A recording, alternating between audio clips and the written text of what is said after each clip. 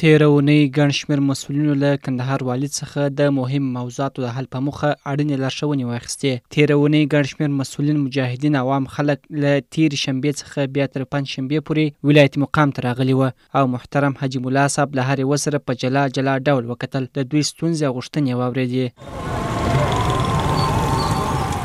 د پولیو د لمنځه وړلو ملي بیړني عملیاتي مرکز رئیس الحاج ډاکټر عبدالقدوس بریالی د کندهار د کډوالو او بیرته راستنېدونکو چارو رئیس مولوي ولي جان بادام د سرحدونو قومونو او قبایلو چارو رئیس حاجي ملا عبدالباري اخوند د زون په کچه د پولیسو د ښوونیز او روزنیز مرکز قومندان مولوي مطیع الله فاروقي د ترافیکو مدیر ملا بشیر اخوند د کار او ټولنیزو چارو رئیس حاجي ملا محمد انور حاجي ګل الله د شهیدانو او معلولینو چارو رییس سید محمد طاهر اغا، د ټرانسپورټ رییس مولوي محمد ادم مسلم، د اقتصاد رییس ملا عبدالسلام بریالی، د نساجي نخي فابریکې رییس مولوي محمد سلیم صابر، د نساجي پشمي فابریکې رییس مولوي موسی کلیم جهادوال، د ښاري محکمې رییس مفتي حزب الله کندهاری، د احصایې او معلوماتو رییس مفتي محمد خان، د اصلاحاتو او ملکي خدمتونو رییس مولوي حمدالله حمیم، د صنعتي پارک امیر مولوي غوث الدین ثاقب، د امنیه قومندانۍ د تامیناتي چارو مرستیال حافظ عصمت الله یعقوب، د ارغنداب ولسوال سید عبدالسلام اغا، د لومړۍ حوزې امیر حاجي جناب صاحب،